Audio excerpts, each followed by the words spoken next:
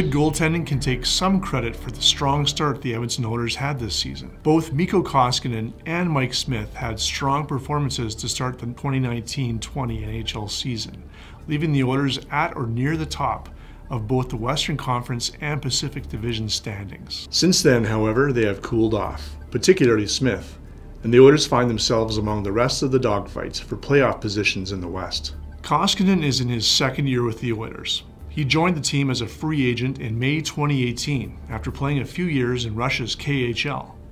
Smith joined the Oilers as a free agent this past summer. Early on in the season, both goaltenders were playing well, and I think they liked that two games rotation. One goaltender played two games, the next goaltender played two games. It kind of went away from it a little bit, but it was for the most part it was working. Since then, Mike Smith's game has, has fallen off a little bit, and, and Koskinen hasn't been as consistent as he was at the beginning of the year. I think he's been the better goaltender than Mike Smith has. I think the goaltending in the first certainly 25 games perhaps masked the fact that they were still giving up chances, but the goaltending from Smith and Koskinen, each playing two games, and the other guy playing two and two and two and two, kept them both fresh, and they're both really good.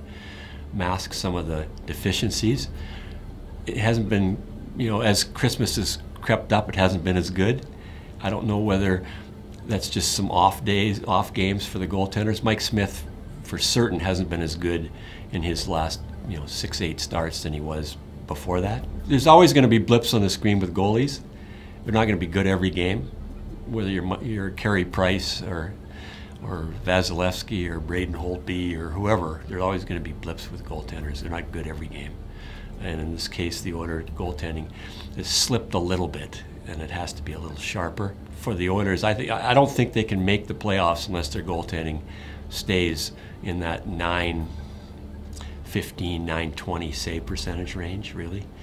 Uh, if it just becomes average to good some nights. I don't know if they'll make the playoffs. Koskinen signed a three-year extension in January 2019 before Peter Chiarelli was fired as GM.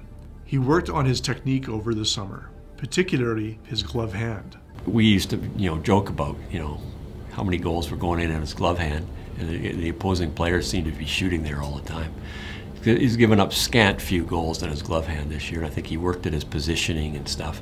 And I think he was perhaps off his positioning last year and was kind of his goal his glove wasn't in the proper position to make a save. And this year he's he's better at it. He seems a little more economical in the net, not relying on his reflexes quite so much. Uh, and I I think after you've played all those years in Europe and then you come back to the NHL, and he started in the NHL because he was an Islander draft pick. You lose how you're supposed to play in North America. He's a guy that plays his angles right, and, and it looks like he's figured out that glove hand.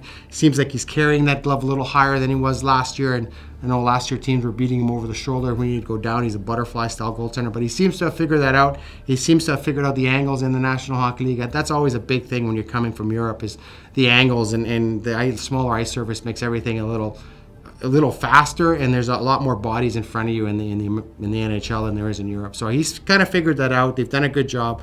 So I think right now.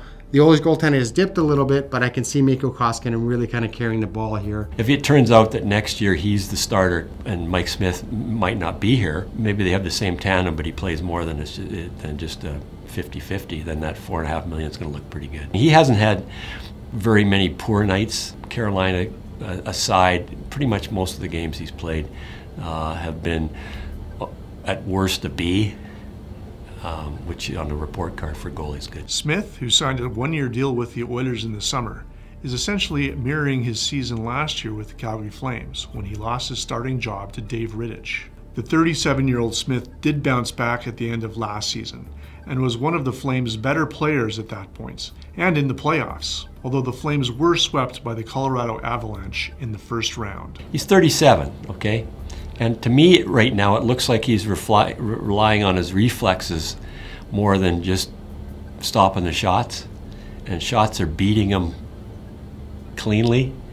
And, and there's some rebounds spilled out and such like that. I think he just has to get the technique back. There's no doubt about Mike Smith, his, his competitive level. He, he's a competitor. He loves to compete, and he's a battler. And I think he's always has been throughout his career. Sometimes you're when your timing is off, it's just off, and you have to try and find it again. I think that's maybe one of the situations with Mike Smith. You can't push him too hard, too fast, too soon. And I think that might have been the case a little bit with the Edmonton Oilers.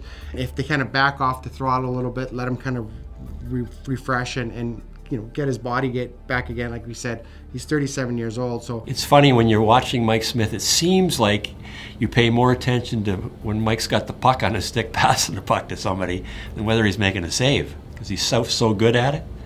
And but when you start giving up the goals, then you start focusing in on, on making the saves as opposed to how good a puck handler he is. And I think they need two goalies because last year it was proven that Koskinen couldn't play every game. And if you don't have two goalies going, then it becomes doubly uh, uh, more of an issue, especially after Christmas when the, the, points are tougher to get. There's more three point games, there's more 3 2 games, 2 1 games. You need two goalies, and there'll be more back to back situations, I think, after, after Christmas for the Oilers. We're going to need both goalies.